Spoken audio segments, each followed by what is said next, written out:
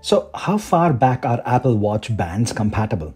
Here I have the latest Apple Watch Series 8 45mm size with Midnight Sports Band, but I want to know exactly how far back are the official Apple Watch bands compatible? To check this, I here have the OG Apple Watch sports band in walnut shade, which I bought with my original 42mm Apple Watch back in 2015. And I also have the Nike Sports Band which came with my 44mm Apple Watch Series 4 back from 2018. Let's see if all these fit with the current 45mm Apple Watch Series 8. First, the Apple Watch Series 4 Nike band.